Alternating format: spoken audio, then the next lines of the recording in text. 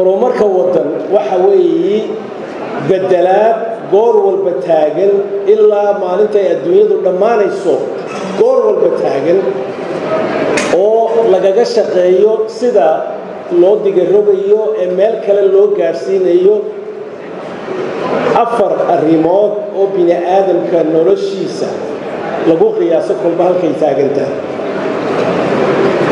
development horumarka maxay yihiin afartaasi? Kow weeye dabeecadda iyo degaanka dadku ay ku nool yihiin environment waxa la yidhaa kolba siday tahay oo kolba isha lagu hayo sidii qof caafimaadkiisoo kale weeyi dhulka caafimaadkiisa degmada caafimaadkeeda in gacanta lagu hayo environmental health. Taasi waa kow. Taa la'aanteed adduunyadu way baaba'daan.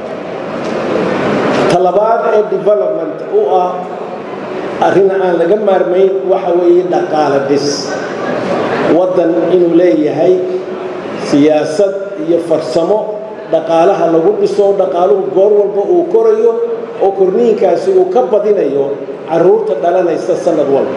Economic growth. Ta saddexaadna waxa weeye dhaqanka. Dhaqanka. Dhaqanka oo in goor walba isbedelo oo dee wakhtiga cusub ee kulbad ummaddu ay joogto garanaya wax ka fahmaya dadkana u suurtogelinaya dhaqankaasu inuu wax beddelka meel weyn ka galo. Waa calaamadaha dadku ay isku afkartaan waxa dhaqanka la yidhaahaa waa calaamadaha la isku afkarto. Mutual understanding. Ta ku xigtaatay afraadna waxa weeye siyaasadda wadda madaxweynuhu aabbay noogu yihi maamulka waddanka iyo siyaasaddiisa sida kolba loogu xidhayo wakhtiga taagan kolba mashaakilka iyo su'aalaha yaalla in siyaasaddu ay noqoto miftaaxi. Waa afarta nolosha bini aadamka afarta rukun ee ay ku dhisan tahay horumarka waxaa la yidhaha amba developmentna qiyaasta laga qaato. Marka dambena waxay iskugu soo ururaysaa laba amuurood maskax caafimaad qabata oo farsamo baratay oo cilmi baratay. Iyo nolosha bini aadamka oo kolba kor u soo kacaysa. Material and mental well-being. Taasi waa mid. Arrinta labaad oo weliba maanta halkan aad iyo aad inoo khusaysa waxa weeye development oo aad ugu xidhan waxa la yidhaaho state dowlad waxa la yidhaaho. Dowlad government waxa la yidhaaho. Maxay tahay dowlad?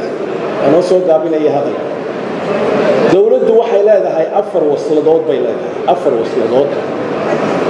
Wasladda ugu horeysa dowlad waxaa la leeyahay waxa weeye qofka madaxda dowladda ka ah madaxweyne muuse biixi cabdi qofun mahayno qof maaha waxa weeye maalkii waxa dowladda la yidhaaho amba madaxweynaheenna ha noqoto amba madaxweynaha kenya ha noqoto qofka madaxweynihii liader waxa weeye dowladdii oo socoto uu qof mailayo intaa uu madaxweyne yahay muuse biixi cabdiun maaha. Waxa weeye calankii oo socda qarankii oo socda ayuu mailayaa madaxweynuhu taasi waa koob ta waxa soo raaca isaga wasiirada regime administration wasiirada. Waa qaybta waa waslada labaad ee dowladda oo markaa madaxweynuhu aw jeer u yahay isagu wado.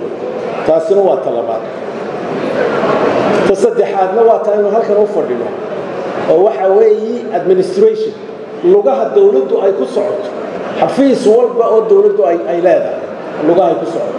Bilayska milatariga barasaabada barasaabada qaarkoodan aqaani baa halkan fadhiya barasaabada diisiyada meeyarka waxaasoo dhan waa infrastructure of the government dowladda waxay ku socoto ta u dambaysaana oo dadka badankoogu aanay fahamsanayn even maraykan aanay ku fahamsanayn.